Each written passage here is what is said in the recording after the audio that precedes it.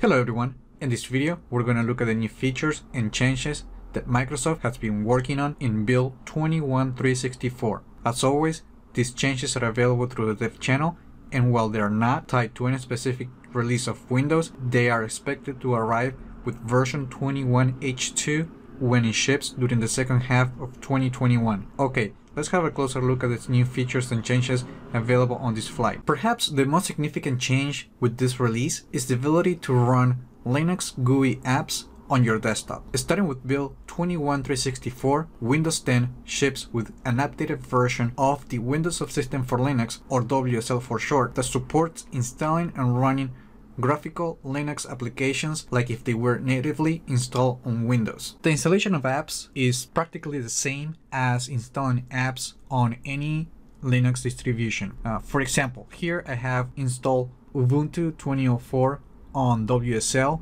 and to install an application I simply going to run this command which in this case will install the gedit text editor application. And once you type the command you press enter and then confirm the password of the Linux account.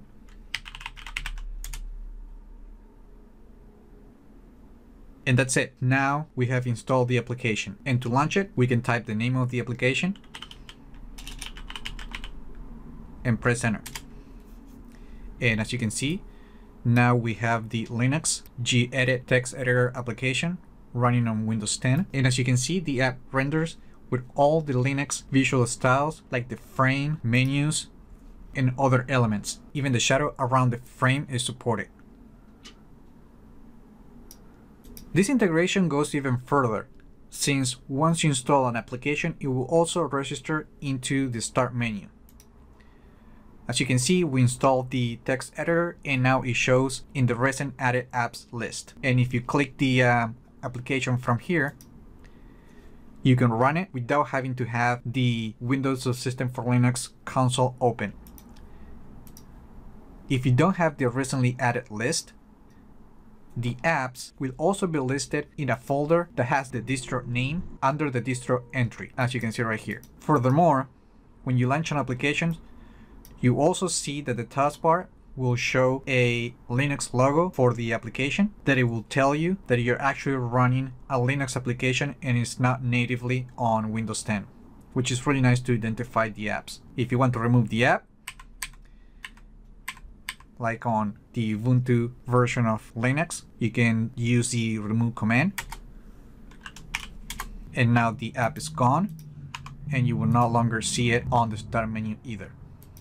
When using this feature, there is no need to start an X server manually, since the Windows Subsystem for Linux will automatically start a companion system distro which includes all the components necessary to run graphical user interface applications on Windows 10 and the integration even includes support for audio and speakers. So if you have a media application, the microphone and the speakers will automatically pass through and will be available on the Linux applications on Windows 10. And after you close the app and the WSL session, this new companion system distro will also end automatically. If you want to try this out, I will be leaving a link in the video description with the steps to set this up on your Windows 10 computer. On Windows 10 build 21364, Microsoft is also introducing two big changes to the taskbar, including process classification for Microsoft Edge and the new Eco mode. Starting with this flight, the processes tab in the task manager will now show the process classification for, for Microsoft Edge, as you can see right here. The classification is divided into several elements such as tabs, browser processes, utility plugins, dedicated and service workers, and more. You also notice that each process includes an icon to make it easier to identify. And if you're viewing a tab, as you can see right here, you also see the site icon. Task Manager now also includes a new feature known as Eco Mode that is meant to provide a way to throttle resources manually. And it will also help you to determine what apps are already running in Eco Mode. According to Microsoft, this feature is helpful when you notice that an app is consuming a lot of resources and you want to limit its consumption so that the system gives priority to other apps which will lead to faster responsiveness and better energy efficiency. If the eco mode is grayed out, as you can see right here, then you're viewing a parent process. In this case, you will need to expand the category and select the the process and then right click on it and then choose the eco mode. You may also see this new eco mode enable automatically on Microsoft Edge and Google Chrome and other supported apps.